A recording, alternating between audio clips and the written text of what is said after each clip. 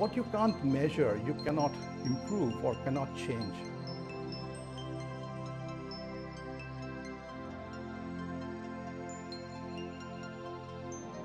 Recovery from addiction, I would argue, is impeded by the cognitive deficits that we not only not treat or, or address in any way, we don't even measure them.